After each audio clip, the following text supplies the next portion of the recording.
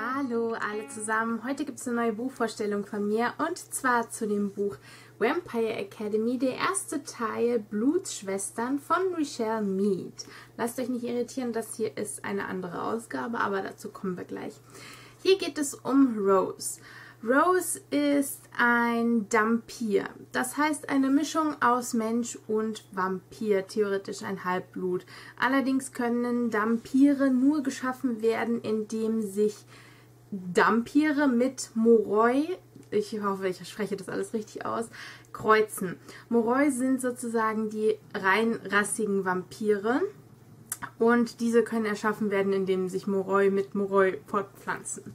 Dann gibt es noch eine dritte Variante von Vampiren und zwar nennen die sich Strigui. Ich habe keine Ahnung, ob das richtig ausgesprochen ist.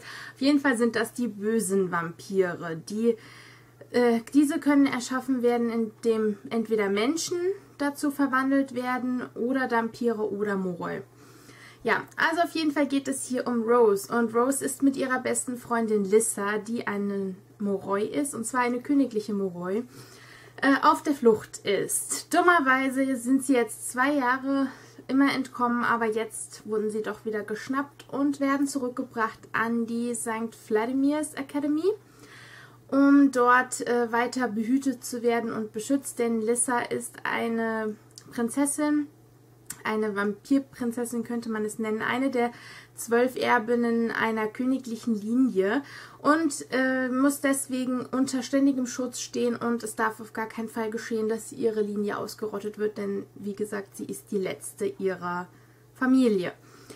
Ja, äh, das stinkt den beiden ziemlich, denn sie haben natürlich Beweggründe, warum sie aus der Akademie abgehauen sind. Und ja, jetzt kommen sie in den Alltag zurück. Nach zwei Jahren waren sie weg und ja, das ist ein bisschen schwierig, nach zwei Jahren wieder in die Schule sich zu integrieren, denn es gab Gerüchte, warum sind sie abgehauen und wie haben sie die ganze Zeit überlebt. Und was ist mit Lissa los? Und ja, Rose muss versuchen, wieder ihren Stoff aufzuholen und ihr Training nachzuholen, denn Vampire sind die Wächter der Moroi. Und da äh, Rose irgendwann einmal Lissa zugeteilt werden möchte, muss sie jetzt hart trainieren, um genauso gut zu werden wie ihre Klassenkameraden und ja, dabei bekommt sie sozusagen Nachhilfestunden von Lissas aktuellem Wächter, der ihr jetzt zugeteilt wurde, und zwar Dimitri.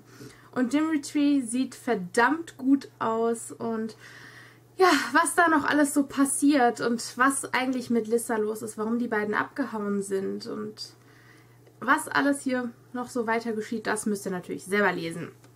Das Buch ist ursprünglich erschienen im Lux Verlag und kostet 12,95 Euro und hat 304 Seiten.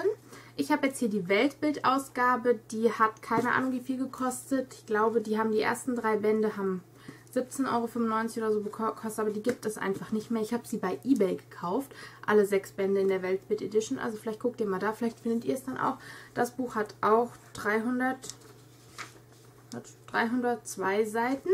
Ja, und das Buch habe ich jetzt schon zum zweiten Mal gelesen. Ich habe die ganze Reihe, etwa vor drei oder vier Jahren muss das gewesen sein, habe ich die gelesen und fand sie einfach total grandios.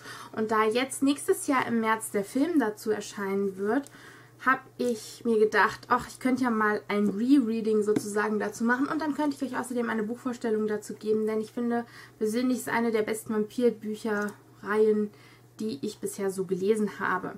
Damals habe ich, also ich habe sie dann auf Goodreads auch wieder eingestellt, dass ich sie schon gelesen hatte, habe sie komplett mit 5 Sternen bewertet und wollte jetzt doch mal ein bisschen kritischer dran gehen, weil, wie gesagt, vor drei, vier Jahren, da konnte ich mich auch nicht mehr so gut dran erinnern. Ja, das Buch hat jetzt im Endeffekt vier Sterne von mir bekommen. Ich hatte es irgendwie ein bisschen anders in Erinnerung, aber es war trotzdem gut. Das Problem dabei ist jetzt, dass ich natürlich nicht komplett objektiv an die Sache rangehen kann, denn ich weiß ja, was in den Folgebänden passiert und ich liebe diese Reihe einfach. Es ist so toll und ich liebe Rose. Rose ist genial. Ich, ich liebe sie einfach. Die hat einen so extrem bissigen Humor und ich finde sie einfach, also es ist herrlich. Und ja, ich war ein bisschen ja, enttäuscht würde ich es nicht nennen, aber wie gesagt, ich hatte das im ersten Teil noch ein bisschen mehr Spannung, also so zwischen den Charakteren in Erinnerung. Deswegen hat es nur vier Sterne bekommen, anstatt wieder fünf. Aber wie gesagt, es ist ein super Auftakt und bleibt auf jeden Fall an der Reihe dran, wenn ihr vielleicht beim ersten so mm, wart. Also ich bin jetzt sehr gespannt. Den zweiten Teil werde ich auch demnächst wahrscheinlich lesen. Ich werde wahrscheinlich jetzt die komplette Reihe einfach nochmal durchlesen. Und ich freue mich schon voll auf den zweiten Teil, weil da taucht ein Charakter auf, den ich so abgöttisch liebe. Ich finde den einfach so, so genial und ich freue mich tierisch drauf, den dann näher kennenzulernen. Wieder zum zweiten Mal wieder näher kennenzulernen. Der ist nämlich einfach toll. Und wenn ihr die Reihe schon gelesen habt, dann wisst ihr ganz bestimmt, wen ich meine. Ja, auf jeden Fall wollte ich euch das empfehlen und jetzt nochmal ein bisschen besser vorstellen. Vielleicht haben einige das schon gelesen, wahrscheinlich haben das einige schon gelesen, es ist nämlich relativ bekannt, soweit ich weiß. Ach so, das Cover von der ursprünglichen Ausgabe, die ihr jetzt normal beim Lux Verlag kaufen könnt, die werde ich euch mal jetzt einblenden.